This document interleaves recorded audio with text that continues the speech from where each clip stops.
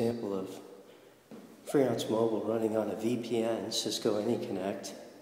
And we're going to go in and out of data coverage. We're walking in the stairwell of the office building, and uh, we're eventually going to lose cell connect here as we go down farther and farther.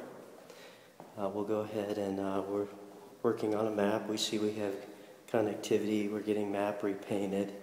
Moving a little slower as we get farther away from the cell. And uh, eventually we'll jump back to uh, the CityWorks records. And let's go hitting the server right now and bringing up a work order. But as we get out of Cell Connect here, Data Connect, we'll try to go into one of these work orders and we'll see that we're going to have a server not found. And what we're going to show is once we have a server not found, because we lost data connection, is that we'll be able to climb back up the stairs and get data connection without logging back into Cisco AnyConnect or the VPN or Freeance Mobile for CityWorks. So there we are. Uh, we've lost data connection. We cannot get into a record. So let's climb back up the stairs and see what happens as we come back into data connection.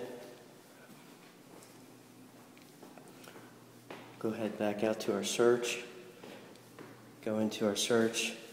We still don't have a server. Go ahead and hit OK here. Go back into the search one more time. Still don't have a server. Let's climb another set of stairs. Hopefully we'll get the uh, network connection here with one more flight. And we'll show that we don't have to log into the VPN or the application. It just picks up where it left off. So there we've got Data Connect. Let's go and search. We got our records. And we've got our map.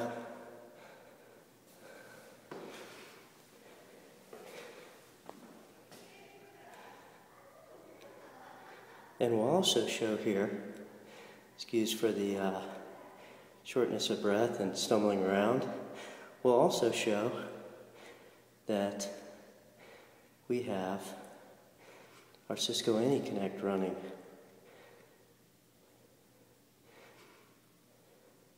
So there's our Cisco AnyConnect. It's already connected back in. We didn't have to do anything.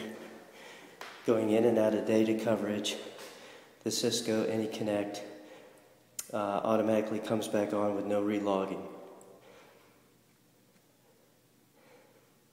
For Freeance Mobile for CityWorks.